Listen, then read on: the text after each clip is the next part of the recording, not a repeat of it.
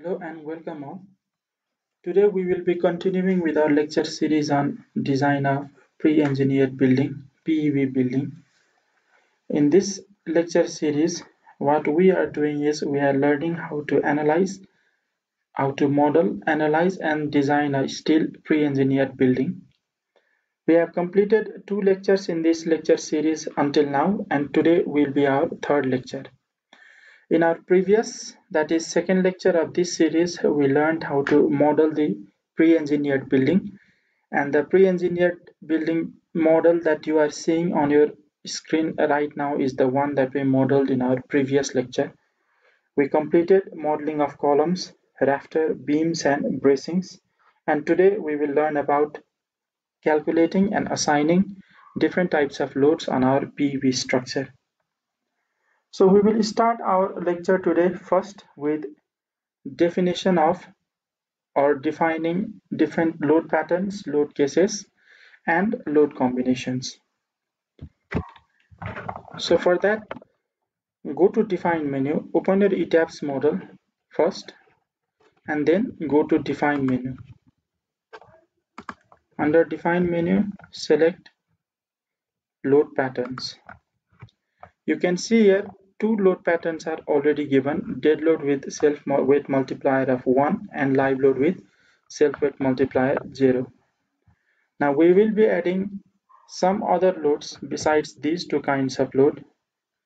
One load that may be present in your pre-engineered building is the loads on your roof excluding the dead load and live load. For example if you have solar panels installed on your roof or if you have different uh, pipelines of HVAC services or other kinds of equipments on your roof, then you can calculate the load coming onto the roof from those equipments and then you can define a separate load pattern for those types of loads. But in our case, we suppose now that except roof sheeting, there is not any other superimposed dead load present on our roof. So we will not be defining a different load pattern for that kind of load and besides an important load acting on our PEB structure is the wind load. So if you see on our diagram there are this is a rectangular pre-engineered building and there are four sides. So our wind may come onto our structure or the wind load may act on our structure from all of these four sides. So we will be defining four different types of wind loads on our load patterns Remember how the wind load acts on our structure is if there are claddings present on our steel structure or this kind of structure, some uh, prefabricated walls or any other type of cladding, first the wind load acts on those cladding. And from those cladding, that wind load is transferred to the secondary structures that support those claddings. And those secondary structures in our case are these columns and these bracings. These columns in our structure are present on both the wall side and also on the gable end side. So we will analyze our structure in such a way that we directly apply the wind load on these structures supporting the cladding that is onto these columns and beams. We will apply our wind load says uniformly distributed load and we will learn later in this lecture about how to calculate those wind loads also. So for the wind loads coming onto our structure from four different directions, let us define four different wind loads. First, I will define as WL1, type is wind and let's keep lateral load as none for now because we are not going to depend on our IS code for the application of these loads, but rather we are going to calculate our loads as uniformly distributed loads and apply them manually on our structure. For that, we do not need for now to select auto lateral load. Keep this as none. Add new load. Second, WL2. Same type wind, self-weight multiplier 0, auto lateral load none. Add. Another will be WL3. Add and another will be WL4 add. So these are our four wind load patterns WL1 to WL4 for the wind load coming onto our structure from four different directions. And then we will add earthquake load. For that, first EQX will be our earthquake load coming onto our structure from the X direction. Type will be seismic and autolateral load we will select IS 1893 2016 add new load. And similarly for Y direction EQY add new load. Now EQX let's modify our lateral load uncheck all the boxes excluding the X direction. Only this box. Our response rate our story range first will be base to story 2 story 2 means our ridge level the response reduction factor for our steel structure will be 3 you can find this response reduction factor value from table 9 in IS 1893 2016 code. Our seismic zone factor per code will be 0.36 for zone 5 let us suppose that our site type has medium swell so site type will be 2 and importance factor is 1 and for the time period of our structure let us keep the time period for now as program calculated. Remember in this response reduction factor this value of 3 is for steel structure with ordinary moment resisting frame. And we have also stated that our structure lies in zone 5 so earthquake seismic zone factor will be 0.36 however although we have done this for now what our code says under that table 9 is in seismic zones 3 2 3 and sorry 3 4 and 5 the structures with ordinary moment resisting frames are not allowed as per codal guidelines we have to construct we have to design special moment resisting frames for both RC structures and steel structures in zones 3, 4 and 5. However, for now, we will keep this response reduction factor as 3 and choose the seismic zone factor as 5. Click on OK. Similarly, modify your load for earthquake in Y direction. Left click on modify lateral load. Uncheck all these boxes except Y direction. Response reduction factor 3 and other same as EQX we do not have to change anything here click on OK and OK save the model. Now after defining load pattern if you go to again define and load cases you will see that all of the load patterns have their corresponding load cases made here. So click on OK.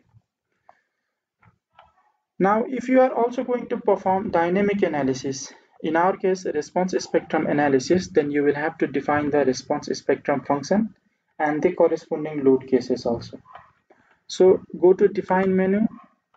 If you want to learn in detail about response spectrum function, there is a separate lecture series with four videos on response spectrum function. I have discussed in detail about the theoretical aspect of dynamic analysis and also the ETABS demonstration of response spectrum function in that lecture series. I will post a link of that lecture series below this video. For now, we will go to define functions and response spectrum.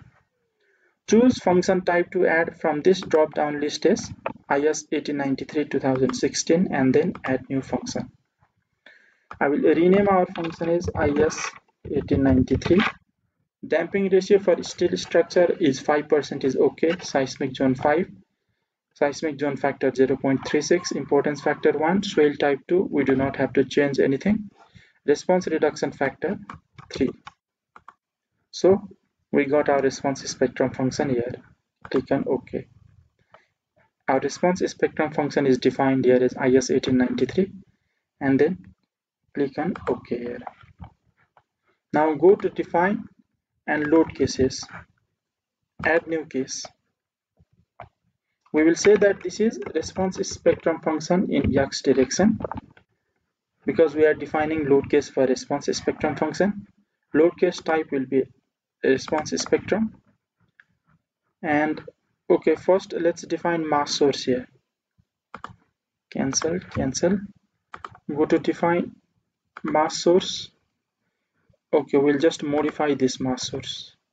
Let's name this mass source. Our mass source is composed of element self mass. I will uncheck this element self mass, additional mass and specified load patterns. So after I uncheck this element self mass I have to insert here the dead load pattern also. So dead load will be 1 add. Our live load the only live load coming onto our structure is the roof live load. The roof live load do not participate in the mass source so we will not include this live load. And besides this dead and live load we do not have any other type of load that will be included in the mass source if there were a different load pattern for such structures as solar panels on the roof as I discussed previously then you have to include that type of load pattern also here. But for now only dead load is added. It's okay here. So left click and ok. Left click and ok again. And now let's go to defining load cases for response spectrum. Define load cases add new load case RSX I name it. Load case type is response spectrum. And the loads applied will be if you click on add here this is acceleration. Load name will be u1 in x direction and our function will be the response spectrum function that we defined earlier. That is IS 1893 for this scale factor, I also discussed the concept of scale factor in our previous lecture. This scale factor will be first you have to check the units of your uh, model here. So I click on OK for now. I will come back to this to change it. I will click again OK. On your screen on the right hand bottom side, click on these units and select show units form you will see that your acceleration. You have to find the units of acceleration in this units form here. Let's see where is the value of acceleration? Okay here. Acceleration is defined in terms of millimeter per second square. So let's change this millimeter to meter. Meter per second square. So click on ok. Now let's go to define load cases again. In this rsx let's click on modify modifier showcase. So our response spectrum factor if you remember the previous response factor it was something like 9800 which was in millimeter per second square. Now after changing the units of acceleration it is 9.81 meter per second square. You can change this response factor according to the concept that we discussed in our response spectrum analysis lecture series or you can keep this scale factor same for now. I will keep it same for now 9.81 other parameters load cases combination method let's keep the default values here and then click on ok.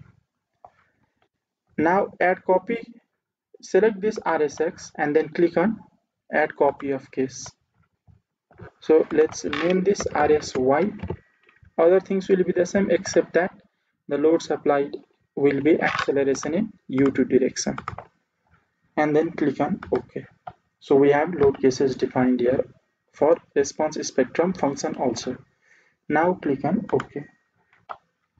Save your model. So now we have defined our load cases and load patterns. And I will define load combinations for now by generating some default design combos based on our default design code that is IS 800 you have to make some corrections in those auto-generated load combinations. That corrections we will see in our upcoming lecture next lecture before performing the design of our structure. So for now go to define load combinations. Okay 46 load combinations have already been generated here. So what I will do is I will just select all these load combinations and I will delete these combinations now it is blank here. And then click on add default design combos. Select steel frame design and then click on ok.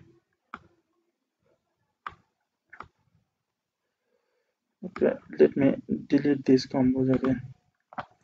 Okay now then click on add default design combos and then click on steel frame design and also click on convert to user combinations editable because you have to make corrections to these load combinations i will talk about that in our next lecture so click on this convert to user combination and then click on ok so let's see here 52 load combinations have been generated based on our load patterns click on OK. We will discuss about this in detail in our next lecture.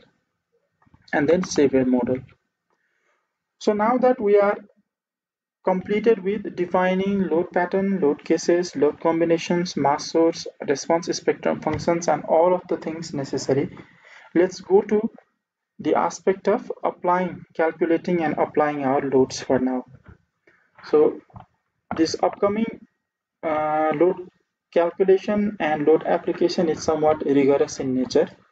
If you do not understand while watching the video once, please do try to watch it two, three, four times before you become clear about this calculation and application of load, particularly that of the wind load. So let's go to that portion now. I have prepared uh, this MathCAD sheet related with the calculation of load for pre-engineered building or steel truss structure here. This MathCAD is a software particularly useful for calculations related to structural engineering and I'm also new to this software and I'm just I have just started to learn about this software. So I have prepared uh, a sheet related to calculation of load in the same software also. This is not a perfect uh, calculation sheet but just uh, to make you understand and for my own practice also I have made the details in this MathCAD software and if needed I can convert this sheet into PDF and if required I can provide you with this calculation also. So now let's enter into the calculation of load. So first we have the structural details here. If you see the length of our building is 91.15 meter. You can see this or calculate this length from your AutoCAD file of any pre-engineered building or of any structure. The length of our building is 91.15 meter. Our width is 40 meter. And we suppose that our center to center spacing of purlins is 1.50 meter. These purlins are necessary to bear the load of roofing sheet coming from above. We haven't modeled the purlin in our structure. We will just uh, calculate the self weight of purlin and apply those loads on our beams. For now, we will suppose that the center to center spacing of our purlins is 1.50 meter. If you see on this left hand side, there are some symbols. I have uh, made some symbols for these descriptions. For example, yes underscore p is the center to center spacing of purlin. Now the base spacing for center is 7.667 meter. That means these center columns except this column at one gable end and another column at another gable end the columns in the center are spaced at a distance of 7.667 meter in both ends left and right that is base spacing for center is 7.667 and the base spacing for gable end is 7.242 our clear eave height is 5 meter and our maximum eave height that means the height from ground level to the ridge of our structure is 7 meter. And the slope of the roof you can calculate in this way. For example if this is our truss we know this value 2 meter and we know this value which is 20 meter 20 meter. Using these two values and using the properties of a right angle triangle you can calculate the value of the slope of this truss or slope of this roof. Here I have got the slope of the roof is 10 degrees. Now dead load first coming to dead load if you refer IS 875 part 1 in that IS 875 part 1 what you can get is you can get the dead load of roofing sheets based on their properties. For example if you are using your roofing sheets as galvanized corrugated iron sheets then you can acquire or you can get the value of dead load from IS 875 part 1 for now what I have done is I have supposed that the weight of sheeting that is roof sheeting the weight of purlins and the weight of sag rods all together is 0.15 kilonewton per meter square. I discussed upon this uh, approximate value of dead load in our first lecture of this series also. You can go through that. If you have the sections for purlins and sag rods, then you can calculate the weight of those sections per unit meter and convert those per unit meter loads into per meter square load also. But in this portion for now what I have supposed is that the cumulative load of these three dead loads that is sheeting, purlins and sag rods is 0.15 kilonewton per meter square. So what we are doing is since we are applying our all different types of loads in kilonewton per meter. That is in uh, is a uniformly distributed load we have to change this 0.15 kilonewton per meter square into a load in kilonewton per meter. And for that what we do is we multiply this uniformly distributed load that is we multiply this 0.15 kilonewton per meter square with the base spacing and since the base spacing is different for center and gable end what we do is for the center that is for the beams at the center we will multiply this w by sbc we get 1.15 kilonewton per meter. Whereas for the gable end frames we multiply this W by SBG that is 7.242 meter and then divide by 2 0.543 so why do we do this is that let's see here.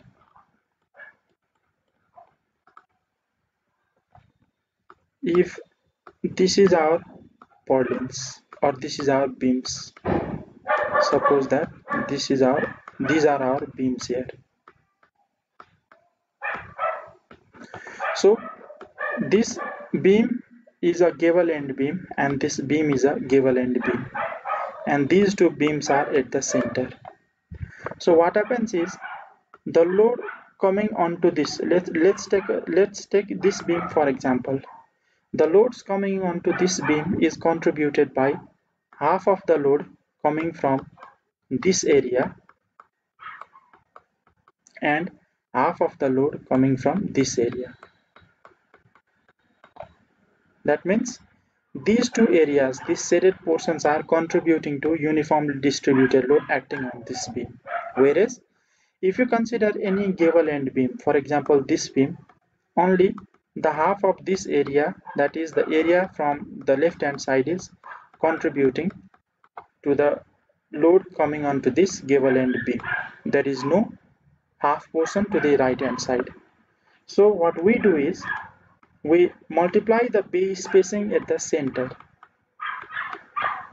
with the area load 0.15 kilonewton per meter square to obtain the dead load acting onto these center beams whereas for gable end beams we multiply the gable end spacing and 0.15 kilonewton per meter square and then divide by 2 to get the contribution of this half area that is contributing to the load acting onto this beam.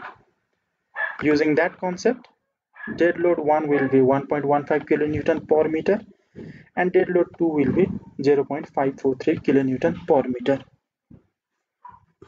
So now, before going to live load, let us apply this dead load onto our structure. For that, one thing that will make you easy when applying different types of load onto this structure is to classify different types of elements available in your model into different types of groups. For example, let's see here. Okay, let me just check here. For that, what we will do is suppose let us select these five columns here I have selected these five columns and then go to assign and then assign objects to group option. Here I already have uh, named and assigned different types of groups here because showing all this classification will take time. I will just uh, show you one example of how to assign these different frames into groups so I selected these five options. I went to this option assign and assign objects to group option. Now you have to create a different group name. If you want to add these objects to an existing group name you have to select that group name here. Otherwise go to modify and show definitions. And here different types of groups have been defined here. I will click on add and in this group one what I will rename this as Gable 2 columns. And then click on OK. So Gable 2 columns has been added here. Now select these Gable 2 columns option. You have already selected five of these columns. Choose this either add to group or a replace group. And then click on apply. And then click on ok so these five columns have been added to one group. What I have done here is that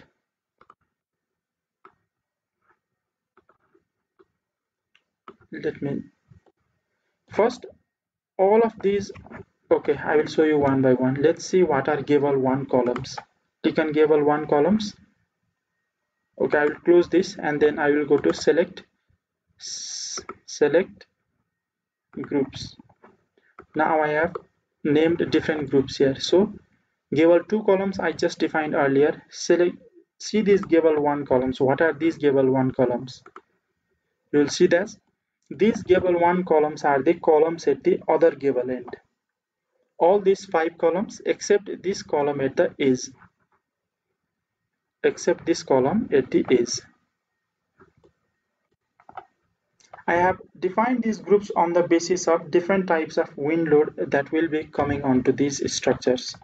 So gable 1 columns are the 5 columns at one gable end and choose deselect here and select again gable 2 columns. These gable 2 columns are the 5 columns, 5 center columns at the other end again deselect now what are left center columns select left center columns are all of these columns at the left hand side of this. That is if this is the positive y-axis then on this positive y-axis side these are the left center columns except this one at the end. Left center rafters. Left center columns let us deselect. Now left center rafters. Left center rafters or you can call these beams also. These are all these selected beams here except these beams at the gable end. Except these beams at the gable end. Left center rafters or left center beams are the beams at the left end and left gable columns. Let me deselect this. Left gable columns are these columns at the two end on the left hand side. This columns at the two end. Similarly left gable rafters are now we rename these center rafters as left center rafters. Now left gable rafters are these rafters at the ends. That is gable end. Similarly right center column means the center columns at the right end. Right center rafter means these rafters at the right end. Right gable column means this column and this column at the edge. And right gable rafter means these rafters in the right hand side at the gable end in this way i have created different groups and then assigned the different frames of our structure to these different groups so that it will be easy while application of load. Instead of choosing one each frame one by one you can just select the frames according to these groups and then apply the load. So let's click and close. Let's save the model. Now let's go back to our calculation here our dead load is 1.15 kilonewton per meter in the center span. So what i will do is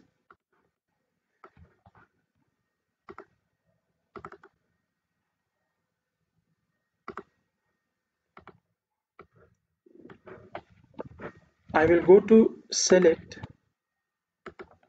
and then select groups.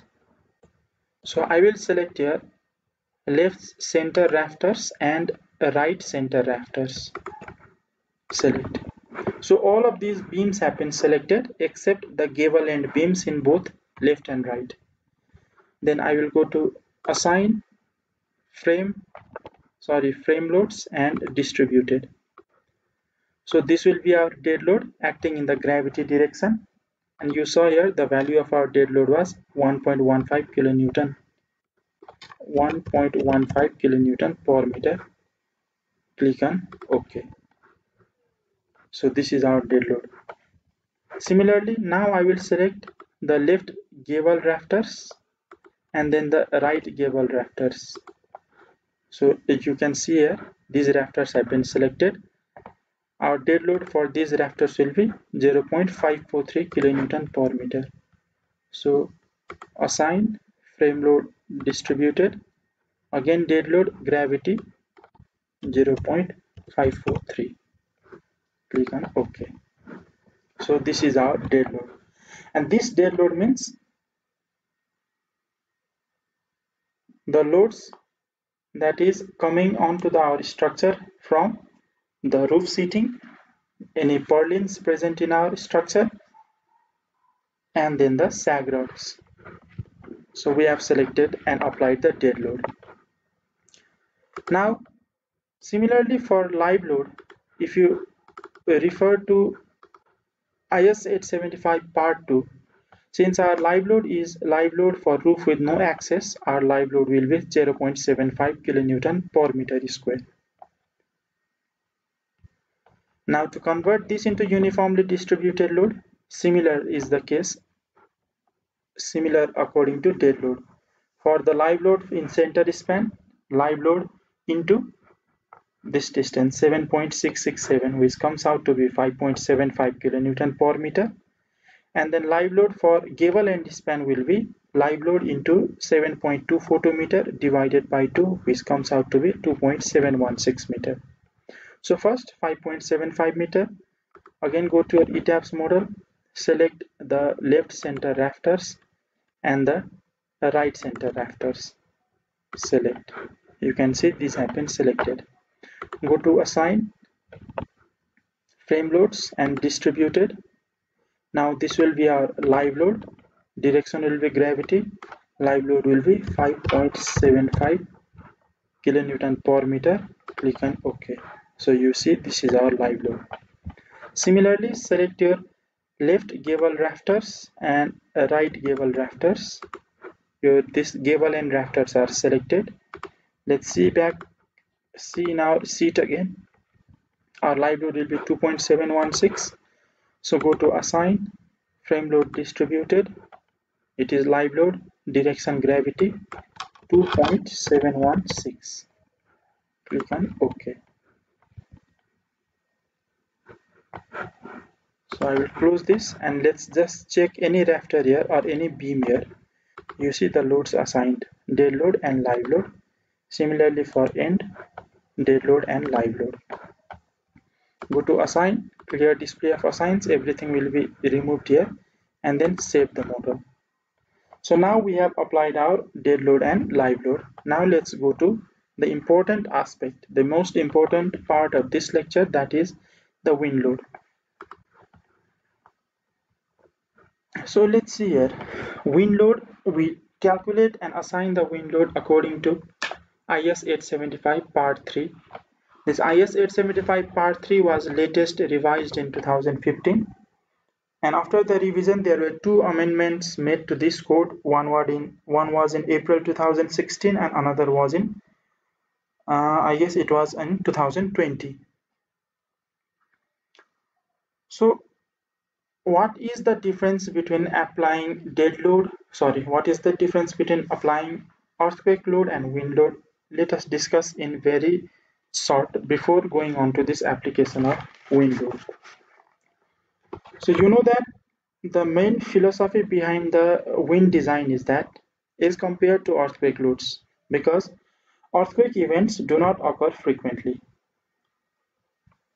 but wind blows every time although there may not be any extreme wind event but generally wind which means the movement of air is happening all the time.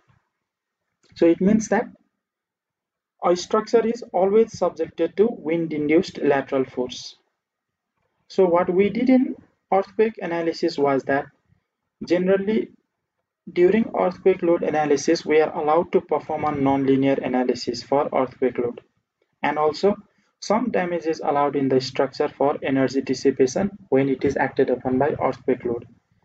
In contrary, for wind design, what we try to do is that we try to keep the structure in elastic range. Since the wind load is always acting, although the magnitude of load acting may be variable, wind load is that type of load which is always acting in our structure. So we try to keep the structure in elastic range. We do not allow the deformation of our structure under the application of wind load and we design for full wind force. This is one major difference in earthquake load design and wind design. And another major aspect is that wind force is only generated over the exposed surface and we do not have to apply the wind load for hidden items. For example, in our structure also, we apply the wind loads only for these exposed parts. We do not apply wind loads onto these inner columns or if there were any inner structure, we do not apply wind load onto those structures. We only apply the wind load onto these exposed surfaces. So saying that, now let's go to the calculation of wind load. For that, the first aspect or the first thing to do is you to know the design wind speed in your area. Here I have taken the design wind speed as 33 meter per second. If you are designing according to IS code IS 875 part 3 that is the design load for wind loads then in that code uh, different basic wind speed have been given for different regions of India and if you have to design for any structure in your country which is different from India then you have to know the basic design uh, you have to know the basic wind speed in your area. And the primary thing or the primary principle in determining the basic wind speed is that what IS code adopts is that this basic wind speed is based on gust velocity of wind for a period of 3 seconds and this wind load should be acting at a height of 10 meter above the ground level for the structure and then this basic wind speed should have a return period of 50 years. So there are three basic principles relating to the basic wind speed in your area that is gust velocity based on 3 seconds period acting at a height of 10 meter above the mean ground level and then the wind should have a design return period of 50 years. If you have these criteria based wind speed on your area, if you have sufficient meteorological data and based on those meteorological data, you can derive the wind speed based on those three criteria then you can adopt that design speed and then design according to the Indian code. But those three principles must be adopted while calculating the basic wind speed. So our basic wind speed let us say is 33 meter per second clause 6.3 says that this basic wind speed has to be converted into the design wind speed. And how you get the design speed? By multiplying the basic wind speed Vb by four factors K1, K2, K3 and K4 where K1 is the probability factor or risk coefficient K2 is the terrain roughness and height factor. You can see the corresponding clause that you have to follow 6.3.1 for K 6.3.2 for K2 K3 is the topography factor 6.3.3 and K4 is the importance factor for the cyclonic region 6.3.4 so from these four clauses de determine the values of k1 to k4 and then multiply all these coefficients with the basic wind speed vb to obtain the design wind speed vz so the risk coefficient k1 you obtain from table 1 so what table 1 says is that for all let me just increase the size For all general buildings and structures with mean probable design life of structure 50 years, you can take the K1 factor is 1 for all different design speeds or for all different basic wind speed. Since our basic wind speed is 33, we suppose it is our general building and structure with mean probable design life of 50 years. We obtain K1 is 1 year. Similarly, K2 is the terrain roughness and height factor which you obtain from table 2 that is factors to obtain design wind speed variation with height in different terrains. So based on the height of your structure and based on the terrain category which is category 1, 2, 3, 4. You can select your K2 factor. Let's go to IS 875 clause and see what are terrain categories 1 to 4.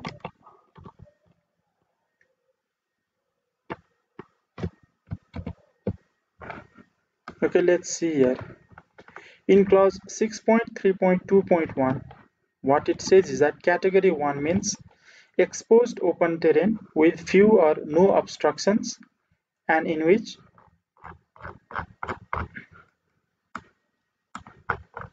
the average height of any object surrounding the structure is less than 1.5 meter. Category 2 is open terrain with well scattered obstruction having heights generally between 1.5 meter and 10 meter. Category 3 is terrain with numerous closely spaced obstructions having the size of buildings or structures up to 10 meter in height with or without a few isolated tall structures.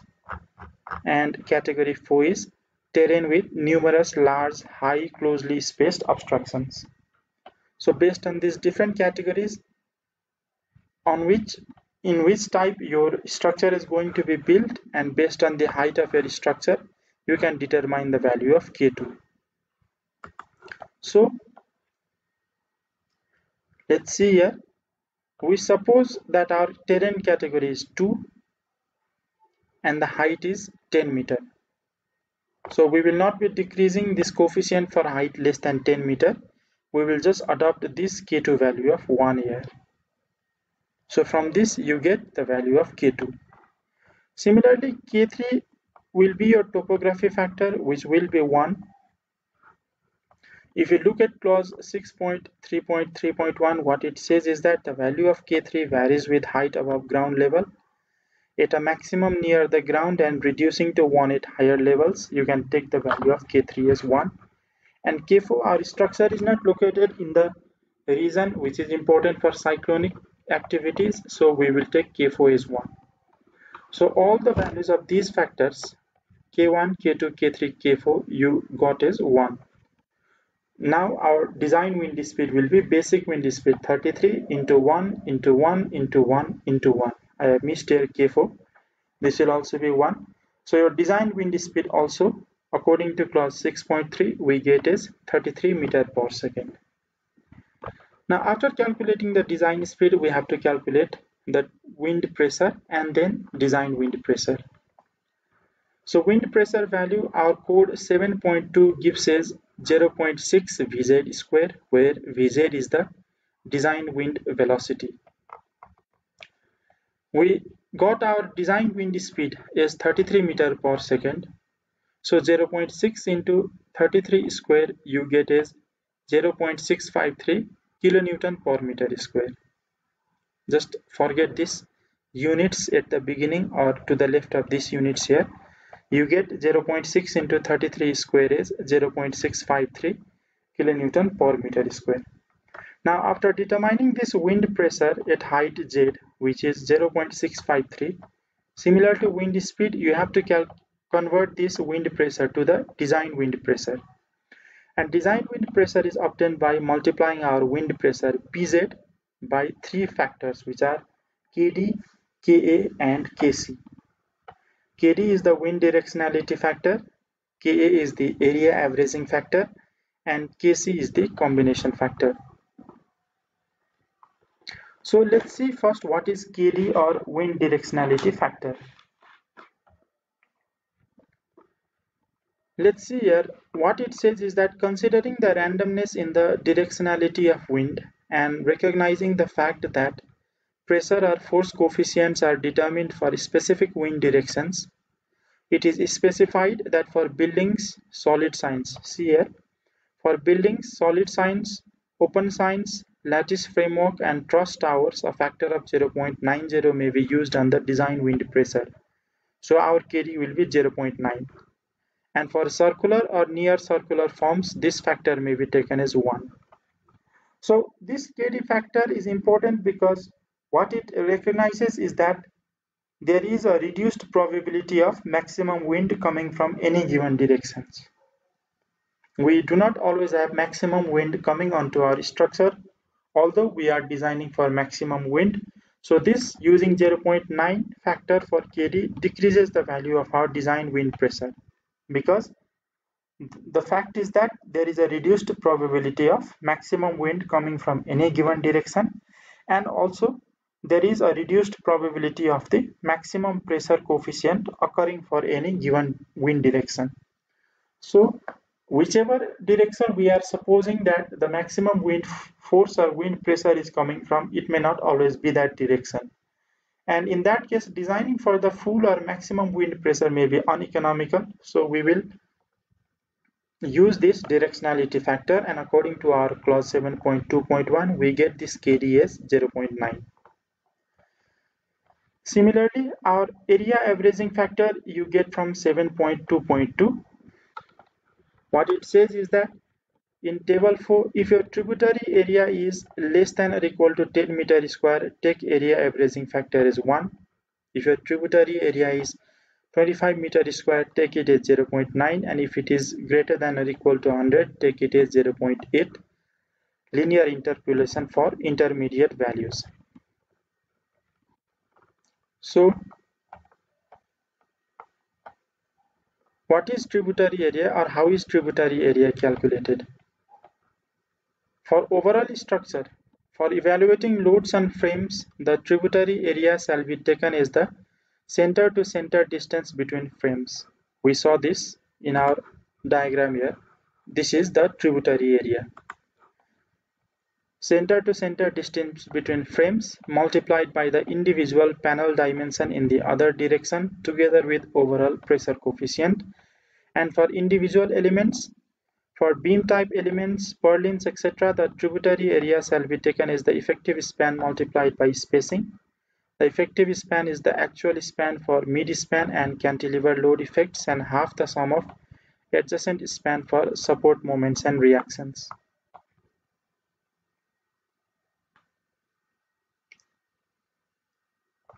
So we take this area averaging factor Ka is 0.8. And finally our Kc combination factor will be 0.9 according to our clause 7.3.3.13. What it says is that when taking wind loads on frames of clad buildings, it is reasonable to assume that the pressure or suctions inside and outside the structure shall not be fully correlated Therefore, when taking the combined effect of wind loads on the frame, a reduction factor of Kc is equal to 0.90 may be used over the building envelope when roof is subjected to pressure and internal pressure is suction or vice versa. So Kc we take at 0.9. So Kd 0.9, Ka 0.9 and Kc is 0.9. Multiplying these three factors we get is 0.648. However, there is a clause in our structure or in our code that if the product of these three factors is less than 0.7 we have to take the minimum value that is 0.7 so since the product comes out to be 0.648 which is less than 0.7 we take the value at 0.7 and finally our design wind pressure will be this product value 0.7 into our wind pressure 0.653 which we get as 0.457 kilonewton per meter square now what we did up till now is that first we got the value of basic wind speed in our area. We converted that to design wind speed. We use the value of design wind speed to get the value of wind pressure at height h and that wind pressure at height h we converted it to design wind pressure and we got that design wind pressure is 0.457 kilonewton per meter square. And now we come to the part where we calculate the pressure coefficients for individual members. Because that pressure coefficients will be used to calculate the wind load on individual members and that wind load will be applied to our structure. So let's see here what clause 7.3.1 says is that when calculating the wind load on individual structural elements such as roofs and walls and individual cladding units and their fittings it is essential to take the account of the pressure difference between opposite faces of such elements or units. So what we get for any individual structural element or cladding unit, the wind load acting on that uh, element will be the difference of CPE minus CPI into A into PD, where PD is the design wind pressure that we obtained above a is the surface area of structural element or cladding unit. This can be found out from our geometry or from our structural model. And these two coefficients we have to calculate from the code itself. CPE, which is the external pressure coefficient, and CPI is the internal pressure coefficient. So from where we calculate these two values, let's see here. CPI or internal pressure coefficient we calculate from 7.3.2 I'm not going to read all these clauses for 7.3.2 let me just go to the measure part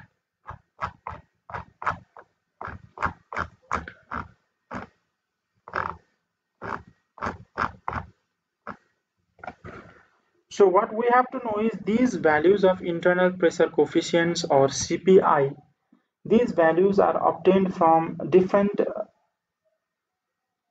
uh, different experiments. These are empirical values. And different we perform wind tunnel test. That is wind tunnel test means uh, that experiment that is designed to study the effect of wind on our structure and we perform different wind tunnel tests on simulated models and simulated environment to obtain these values of internal and external pressure coefficients. External pressure coefficients majorly internal pressure coefficients. We calculate from the area of openings that is present in our structure. Internal pressure coefficients are dependent upon the areas of openings present in our structure whereas the external pressure coefficients are obtained from wind tunnel test on simulated model and simulated environment and these both are these both coefficients are non-dimensional coefficients so what is internal pressure coefficient? To obtain the value of internal pressure coefficient, what you have to do is first find the area of your structure. The area of our structure is length into height. We have only considered here one surface. For example,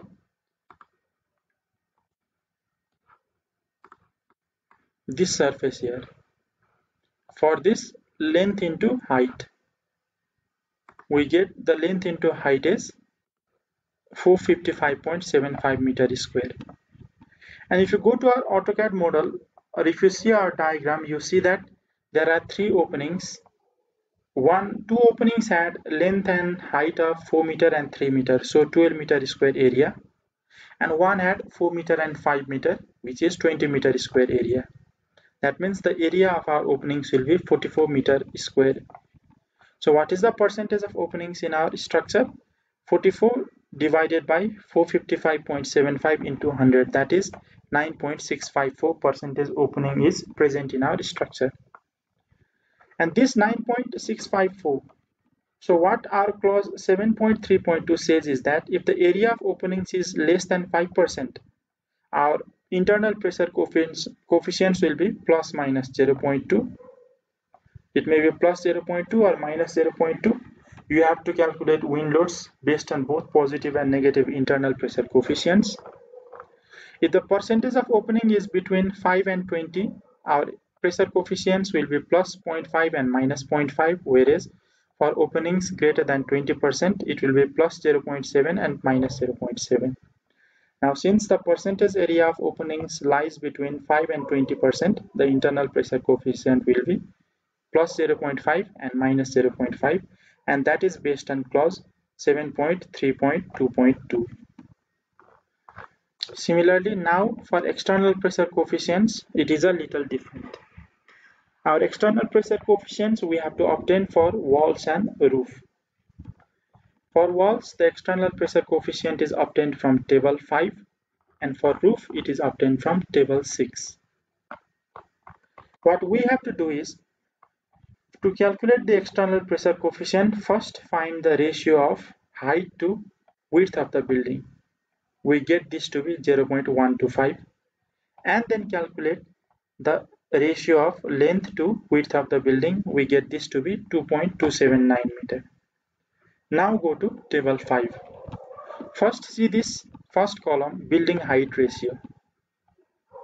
Our building height ratio that is S by W ratio is 0.125 which means it is less than or equal to 0.5. So see this first row here. If it was greater than 1 by 2 then you have to go to this second row but since it is less than 0.125 this is first row. And in this first row our building plan ratio is 2.279 which is greater than 1.5 but less than 4 so see this row which is bounded by a red rectangle. Once again first calculate this building height ratio. It is less than 0.5 so we look at this first row. And in this first row also since our building plan ratio which is 2.279 lies between 1.5 and 4 we see this second ratio. And let's see here what is happening here is that we have pressure coefficients for A, B, C, D. That means four different sides of our structure.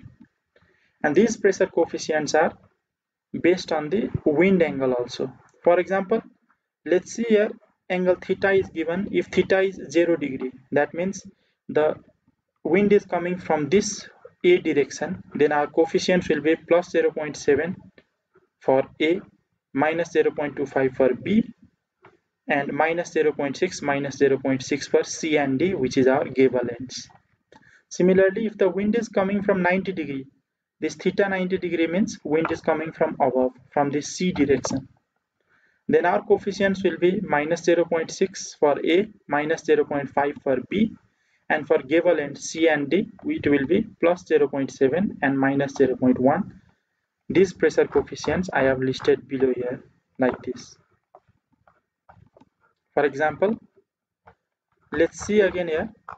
When wind was coming from left that means theta equals to 0 degree then it was plus 0.7 minus 0.25 minus 0.6 minus 0.6 look here plus 0.7 minus 0.5 sorry minus 0.25 and minus 0.6 minus 0.6 similarly when the wind was coming from 90 degree that is from c direction it was minus 0.5 minus 0.5 plus 0.7 and minus 0.1 that means minus 0.5 minus 0.5 plus 0.7 minus 0.1 for easiness, I have kept this subscript here. CP is external coefficient everywhere.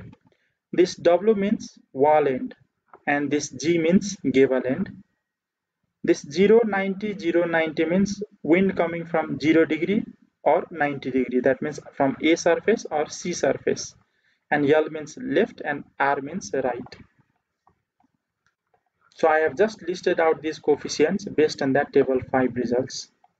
Similarly, for roof, you have to go to table 6 and our height to width ratio is great less than 0.5 because we got this at 0.125 so go see the first row in that table 6 our roof angle we calculated at the beginning was 10 degree. So see this third row here. In this third row our roof coefficients are now for wind angle 0 degree minus 1.2 and minus 0.4 and for wind angle 90 degree minus 0.8 and minus 0.6 I have listed out here. For wind angle 0 degree minus 0.6 not here sorry. Minus 1.2 and minus 0.4 similarly for wind angle 90 degree minus 0.8 and minus 0.6 so what this 0 degree and 90 degree means is that for example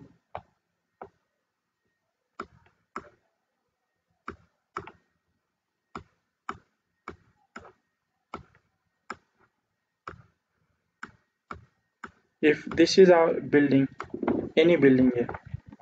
If wind is coming from this direction and flowing onto this direction that means since this is our ridge level our wind is traveling along the ridge that is from one gable end of our building to another gable end behind the back. This is wind along the ridge but if our wind is coming from this side and then blowing onto this another side. Our ridge is here so our wind is blowing across the ridge so if you consider this as a and this behind this a we have b here and one gable end c here d. Let's see the plan of this building is given in our code. Here a this surface b behind this c and d and our angle is calculated this way here theta. So angle theta is 0 means the wind is blowing from a to b. A to b means across the ridge. And if angle theta means 90 degree wind is blowing from c to d. That means along the ridge. So across the ridge a to b and along the ridge c to d. So we have done the same thing here. First let's see wind across the ridge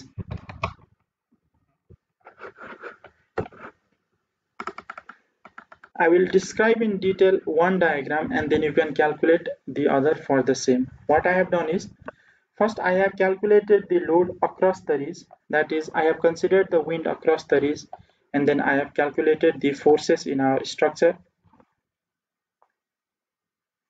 first along the walls and then along the gable end. So I have four cases here. Wind across the ridge with negative internal pressure coefficient CPI, wind across the ridge with positive CPI, wind parallel to ridge with positive CPI, and wind parallel to ridge with negative CPI. And then we have calculated or I have calculated here wind loads for these four cases and again for the same four cases I have calculated the wind load on the gable region. So let's see here first. If you remember uh, at the beginning of our lecture when defining the wind loads we defined four wind loads WL1, WL2, WL3 and WL4 so these four wind loads now you will see here now WL1 means wind across the ridge with negative CPI. That means, let's see the diagram again here. WL1 means wind across the ridge with negative CPI, negative internal pressure coefficient. So our negative CPI is minus 0.5 and let's see when wind is blowing across the ridge, our external pressure coefficient is, which is our external pressure coefficient? Since we are calculating, so we'll have, we have different external pressure coefficient for walls and roof. So let's see here. Our internal pressure coefficient will be the same for negative CPI means minus 0.5 here everywhere. Now our external pressure coefficient will be Wind blowing across the ridge means it is blowing from left and 0 degree. So the CPE or external pressure coefficient will be for wind blowing across the ridge in our roof. This R means in our roof. Across the ridge means it is 0 degree and from left we get minus 1.2.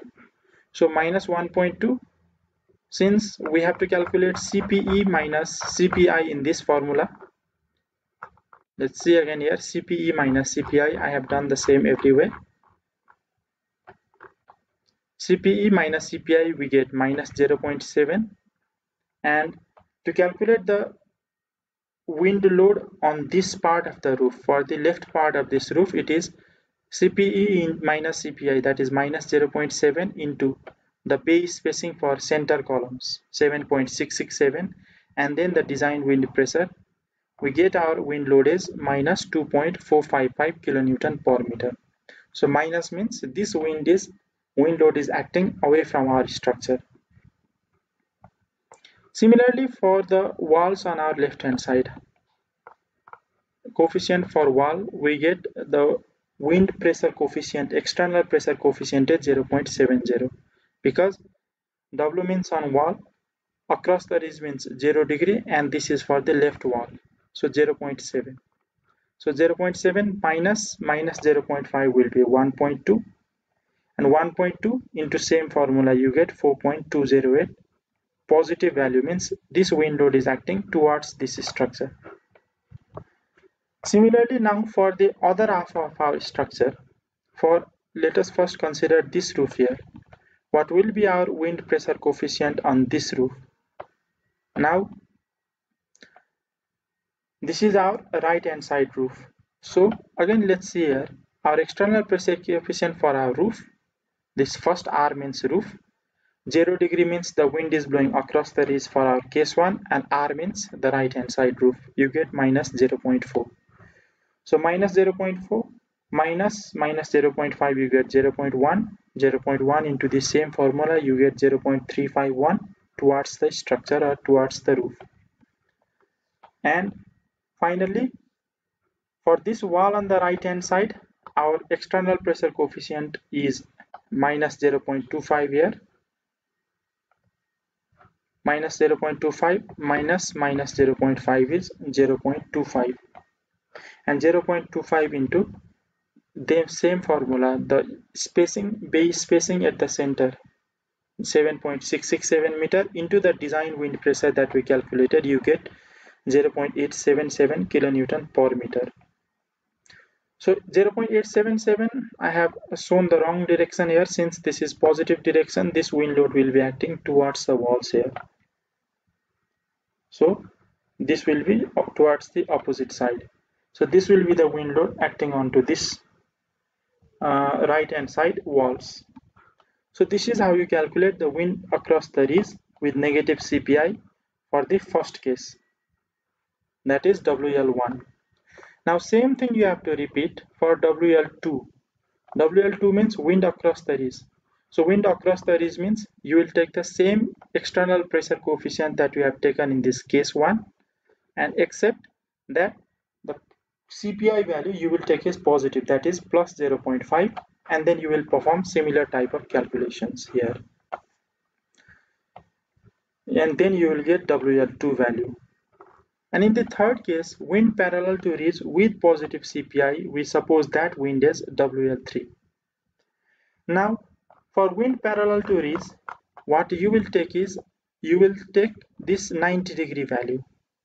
This 0 degree 0 0 0 we took for case 1 and 2 now this 90 degree 90 90 90 you take for cases 3 and 4 in a similar way you can calculate CPE minus CPI and then calculate the pressure or forces on our roofs and walls on both left and right hand side.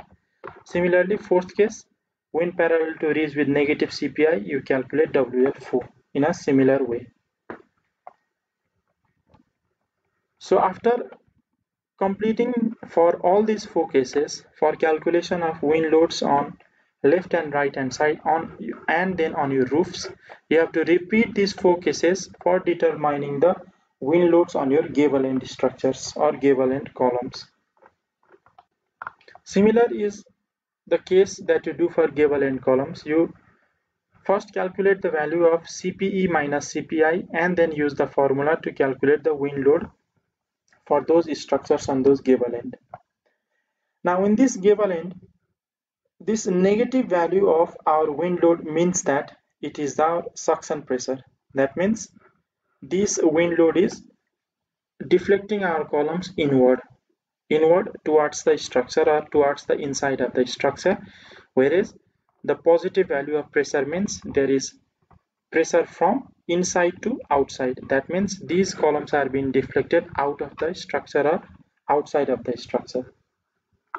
So repeat those four cases using the coefficients that you obtained for gable region which these were the coefficients on our right hand side here. Repeat those four cases. Two cases wind across the ridge with negative and positive CPI and then wind parallel to ridge with positive and negative CPI once again and calculate the wind loads. And then finally we have calculated all the wind loads that are acting on our structure. WL1 WL2 WL3 WL4 on all our columns roofs and gable end structures. And now we come to the part of applying these loads on our structure.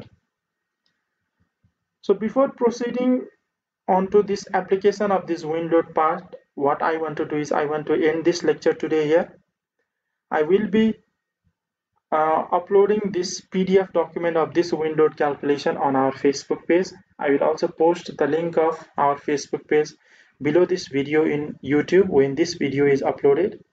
You can download this PDF, you can study on your own and if you have any confusion you can either ask on our Facebook page itself, comment under our post relating to this video or you can ask in message also or you can also comment under our video, videos if there are any confusion.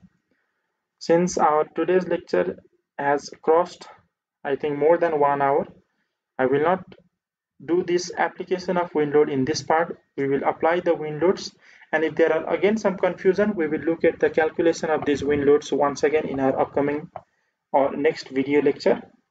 So for today I want to end this video lecture here uh, please please do go through this PDF document and also use IS 875 part 3 code once before you uh, or even after you watch this video on YouTube. And if there are any confusion we will clear those confusions in our upcoming lecture. Thank you